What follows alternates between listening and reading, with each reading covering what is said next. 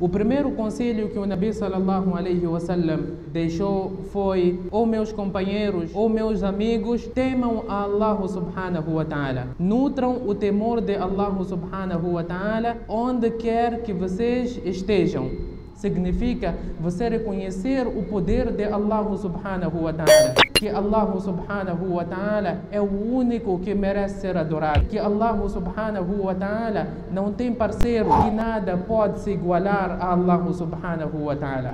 Não há nada igual a Allah subhanahu wa ta'ala. Allah é o poderoso, onipotente. Nada pode se comparar ou igualar a Allah subhanahu wa ta'ala. Criatura sempre permanecerá criatura e o Criador sempre permanecerá criador. O segundo conselho que o Nabi sallallahu alaihi wasallam deixou foi: sempre que você for a praticar uma má ação, então siga com uma boa ação. Porque através desta boa ação, Allah subhanahu wa ta'ala apagará aquela má ação que você praticou. O terceiro conselho: tenha um bom comportamento com as pessoas. Todos nós temos dois deveres.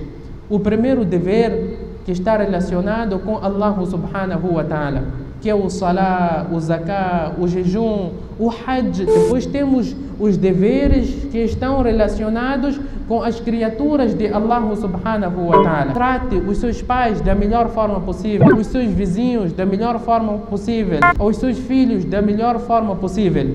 Sorrir para o seu irmão é uma caridade. Dar aquele que te impediu é uma caridade. Afastar a sua maldade das pessoas é uma caridade, é um bom comportamento. Abdullah ibn Amr ibn al-As, radiyallahu anhu wa arda, diz que certa vez eu perguntei ao Nabi sallallahu alaihi wasallam quem é a pessoa mais querida por ti? Nabi sallallahu alaihi wasallam disse é Aisha radiyallahu anha, a minha esposa. Ele disse não, Ya Rasulallah, eu refiro-me aos homens. Nabi sallallahu alaihi wasallam disse o pai de Aisha radiyallahu anha, referindo-se ao Abu Bakr radiyallahu anhu. E em seguida, quem é o homem mais querido? Nabi sallallahu alaihi wasallam disse Umar radiyallahu anhu. E em seguida, quem é Ya Rasulallah? Nabi sallallahu alaihi wasallam foi, foi dizendo Uthman, Ali, e foi mencionando os sahabas. Abdullah ibn Amr ibn al-As disse que eu calei porque não chegava a minha vez. Quer dizer, eles estavam tão convictos que seria a pessoa mais querida pelo Nabi sallallahu alaihi wasallam, porque o Nabi sallallahu alaihi wasallam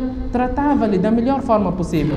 O bom comportamento pode ser adquirido. Quem foi Umar radiallahu anhu arda antes do Islã? Um homem bruto, rígido, que batia nas pessoas, que as pessoas até diziam que é muito provável que o seu burro abrace o Islã do que ele próprio abraçar o Islã. Hoje onde é que está Umar? Ao lado da campa de Nabi sallallahu alaihi wasallam. Quem foi? Khalid ibn Walid foi a pessoa que mais contribuiu para a derrota dos muçulmanos na batalha de Uhud. Mas hoje nós quando mencionamos o nome de Khalid ibn Walid, o que dizemos? Saifullah, a espada de Allah subhanahu wa ta'ala. Quer dizer, através de Khalid ibn Walid, Allah subhanahu wa ta'ala conquistou vários países. Algumas pessoas têm um hábito de dizer que eu nasci assim e vou morrer com este mesmo comportamento.